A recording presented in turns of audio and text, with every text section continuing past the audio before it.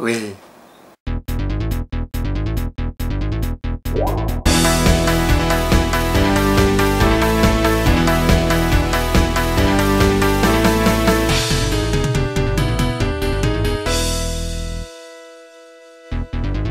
Muy buenas, bienvenidos al capítulo 31 de esta quinta temporada de Racial Videoblog.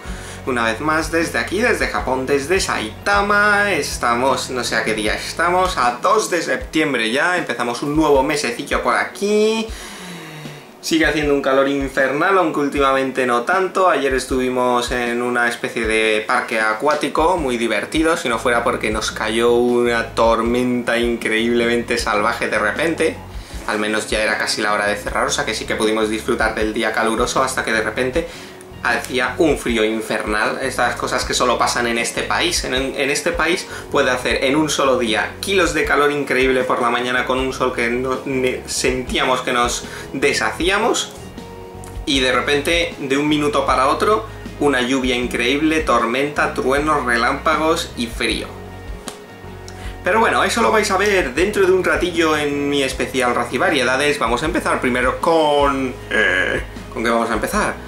Con basurillas niponas. Hoy no tengo mucho, la verdad. Hoy lo único que he traído por aquí es un par de estas cosas que me encantan de Japón. Tienen millones de platos preparados de todo, ya lo sabéis, los famosos oventos y también tienen platos, estos por ejemplo son de pasta, para hacer solo tienes que con agua, con agua caliente, lo echas aquí en unos en 3 minutos, lo quitas y esto de yakisoba y pasta con el señor este que es un tío, un cocinero bastante famoso, es, sale en el Ryuga Gotoku, en el Yakuza 5 y por eso ahora me he aficionado a él y digo, coño, pasta del tío este, pues vamos a probar si está tan buena como dicen. Y nada, viene bien para sobrevivir cuando tu novia está trabajando hablando ya de comida, ya que estamos, os enseño también la imitación china de los Kit Kat. Kit Kat versión china, nunca os lo esperaríais. Este valió creo que de unos 50 céntimos.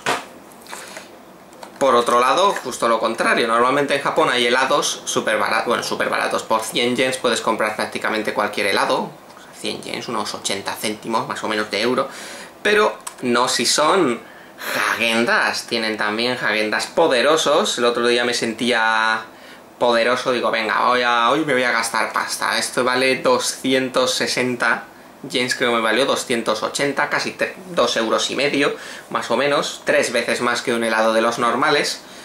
Pero estaba ultra bueno. No es para comer todos los días, a no ser que seas rico, no te importe gastarte el dinero, claro. Pero no es recomendable para siempre. Y la última fricada basurilla nipona que os voy a enseñar en Japón son las típicas cajas de pañuelos estas que están en todas partes. Solo que en este país... por supuesto, son también frikis. No solo una, Manami compró un pack completo. un pack completo de todos los momentos épicos de One Piece desde el primero, cuando Shanks pierde su brazo y luego le da el sombrero, a cuando conocen a Chopper, a cuando Vivi en Arabasta y lo de Nico Robin en, en y por supuesto Going Merry. Qué mejor forma que tener pañuelo para limpiarte los mocos cuando estás llorando viendo al Going Merry morir. Estos japoneses nos saben poner anime en cualquier aparato, en cualquier cosa, aunque sea lo más normal del mundo. Curioso. Y eso es todo, vamos a pasar a... Correo imposible. Tengo un correo imposible interesante recibido la semana pasada más o menos, que me dice... Razi, una pregunta. ¿Cuándo puedo ir a Japón y ver niponas en faldas? Pero tampoco quiero ir cuando esté haciendo un calor infernal como agosto. ¿Qué mes me recomiendas? O sea, ¿me estás diciendo que te recomiende un mes solo para ver niñas en falda? Mira que me han preguntado cosas raras, que cuándo pueden ir para ver tal evento, cuándo puedo ir para ver el comiquet, cuándo puedo ir para ver el estreno de una peli, pero nunca me habéis preguntado cuándo ir para ver chicas en minifalda. Tu nivel de perversión enfermiza puede llegar a ser superior a lo que había conocido hasta ahora. Pero bueno, si quieres una respuesta, te la digo. La mejor época para visitar Japón y ver niñas en minifalda es... Todas las épocas del año. En Japón da igual que sea invierno, verano, otoño, primavera, siempre llevan minifaldas, siempre vas a ver piernas, siempre vas a ver braguitas subiendo escaleras. Sí, esto es Japón, el paraíso, el sueño de todo hombre. Bueno, a lo mejor no es tan exagerado, pero sí, las niñas se ponen minifaldas, ya sea en verano, ya sea en invierno, en cualquier época del año. En invierno se ven faldas y piernecitas por todas partes. O sea que, señor pervertido, vas a disfrutar como nadie en este país.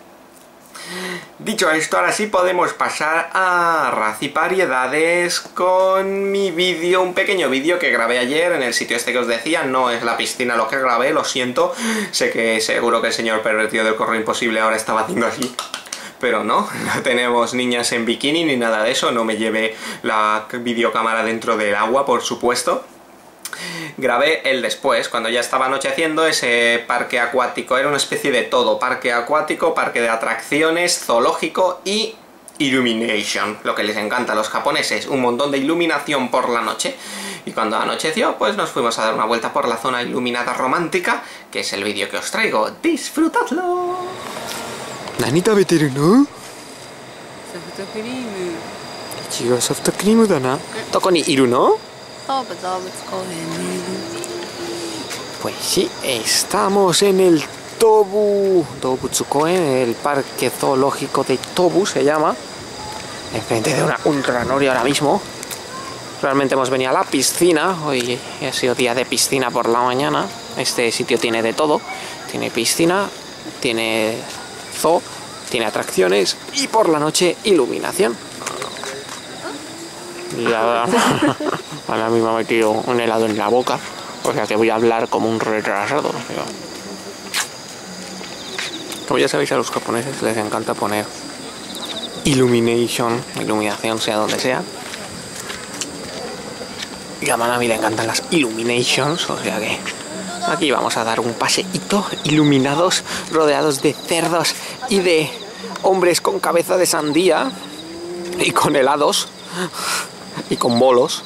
Lo normal que se suele encontrar en una granja, ya sabéis.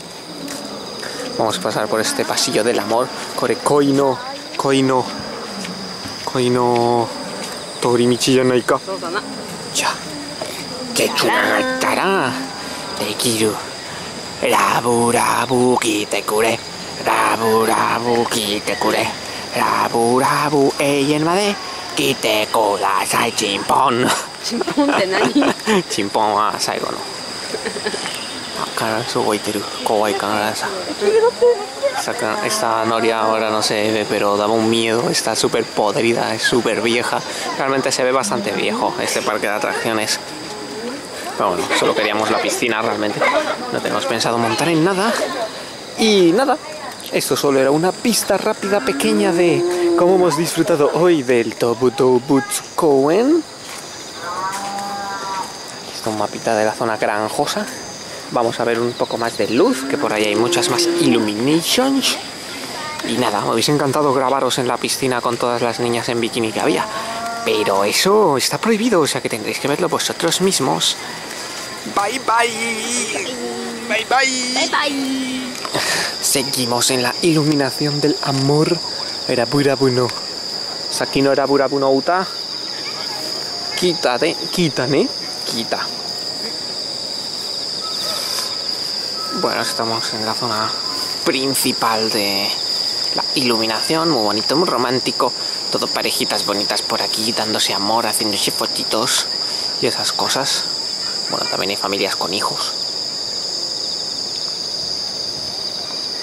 No es tan salvaje como el Yumi dando cuando fuimos a él. O sea que esto nos parece un poco pequeño, pero Corazoncito del amor mola. Pues ya sabéis otro sitio bonito, romántico para venir. Solo tenéis que venir a un pueblo perdido de Saitama, a miles de kilómetros de cualquier pueblo conocido por la humanidad. Creo que aquí tiene que haber hasta titanes y todo colosales. Y encontraréis esto. Espero que lo hayáis disfrutado y ahora podemos pasar a Japón Noticias. Sí, hace un montón que no tenía, no tenía una noticia nueva, pero hoy la tengo porque esta noticia la verdad es que es bastante interesante. Resulta que ayer lo vimos eh, anunciado en el Lotería. Lotería son unos... unos... joder, que se me olvida hablar, unos restaurantes de unas hamburguesas... Vale, Jim Carrey off. Son unos restaurantes hamburgueserías y tipo comida rápida, tipo McDonald's, llamado lotería, no tiene nada que ver con nuestra lotería, ¿no? Lotería con dos T's. Y a veces hacen cosas especiales, no es la primera vez que hablamos de una noticia de esta, esta es la cosa especial, han sacado dos nuevas hamburguesas para, para otoño, son la versión otoño, que no estoy seguro si están ya o creo que van a salir dentro de poco, se van a poder ya pedir. Estas dos hamburguesas, la ¿cómo se llaman? Super Moshude, Super Chisude y Super Furaide. O sea, la el día del super queso y el día del super fraido, fry, eh, frito, bueno, se refieren a las evis, a las me olvida el español, a los gambas. vale, una es de carne de vacuno salvaje con kilos de queso, ¿vale? Perfecto para que tu corazón explote.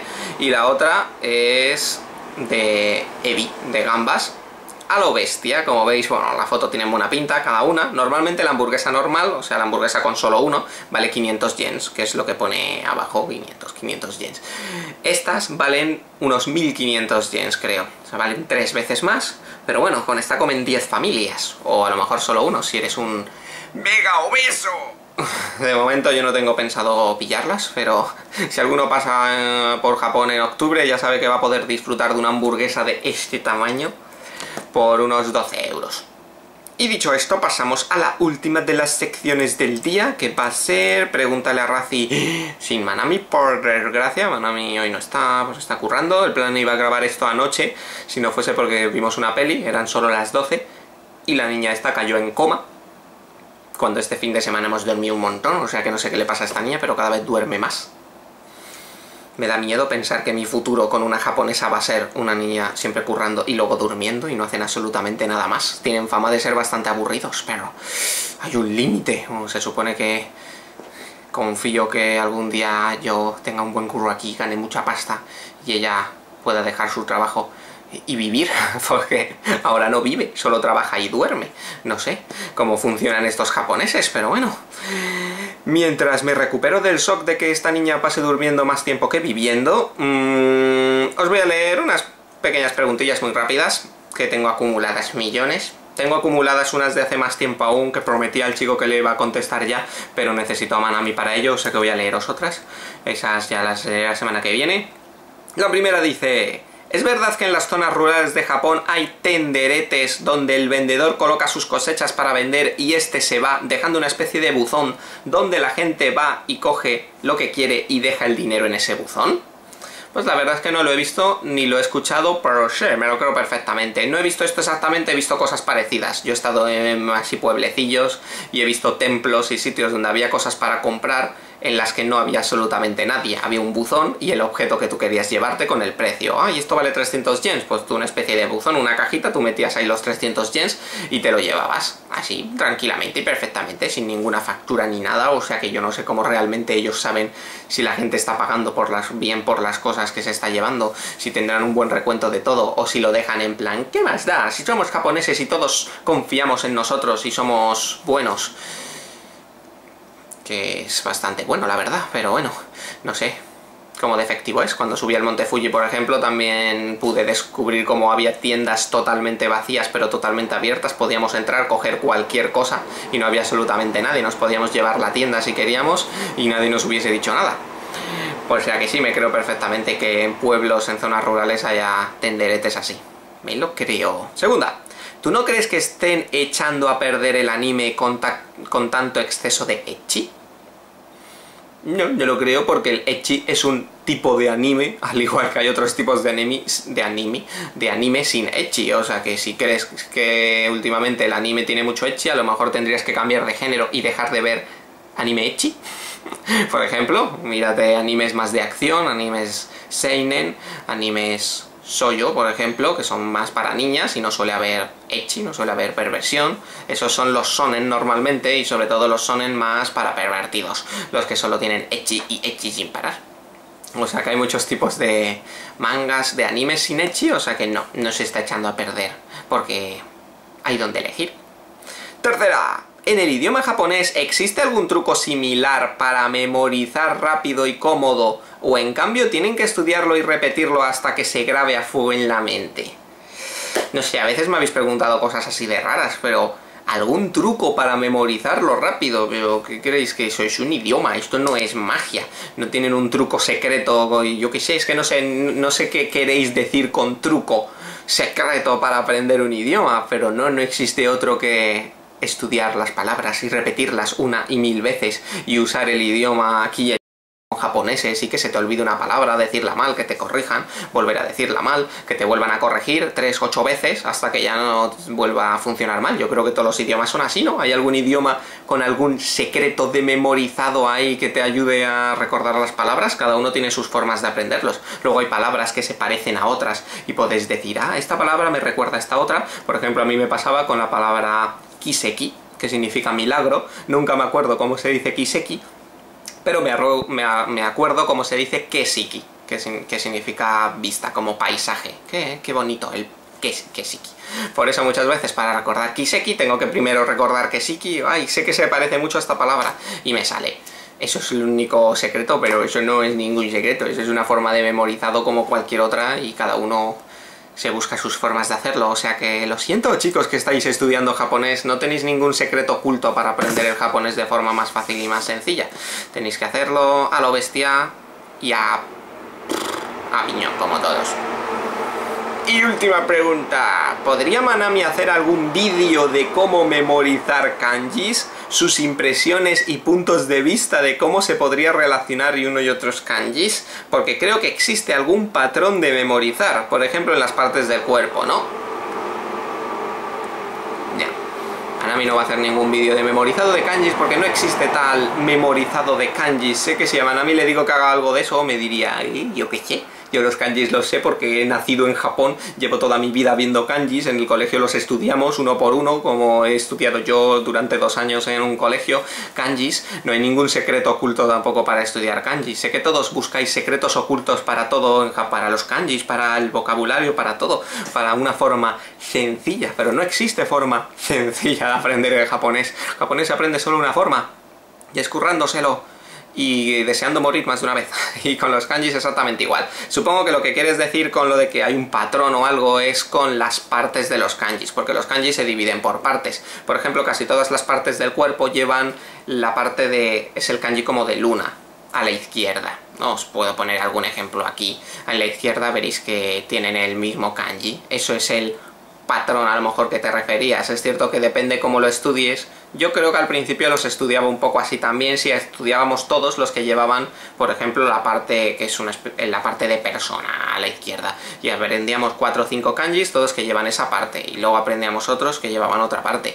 Pero eso es todo, no hay ningún otro secreto y tampoco es que sea súper, ¡ay, esto es la mejor idea para aprender kanjis del mundo! También luego los estuve aprendiendo uno por uno ya sin que tuviese nada que ver y se aprendían exactamente igual, o sea que a currárselo a estudiar sin parar, a escribirlos una, mil veces, cinco mil millones de veces. Si os enseño mis cuadernos de estudio, son cuadernos de 100 hojas todas con mil millones de kanjis escritos una y otra vez, una y otra vez, hasta que se quedaban y aún así se olvidan. O sea, lo importante es seguir viéndolos cada día, leyendo leyendo cosas, leyendo manga, cosas donde el kanji aparezca. Si no, si dejáis de ver un kanji durante una o dos semanas, se os olvida de vuestra mente para siempre es así de gracioso este idioma. Pero bueno, vosotros habéis elegido estudiarlo, o sea que ánimo, y si queréis ayuda, recordad que tengo un curso online, eh, aprovecho para hacer publicidad rápida, curso online de Razi, Academia Razi, tenéis la página por aquí, y ahí podéis aprender japonés del bueno y os enseño todos los kanjis que necesitáis y todos los secretos para aprender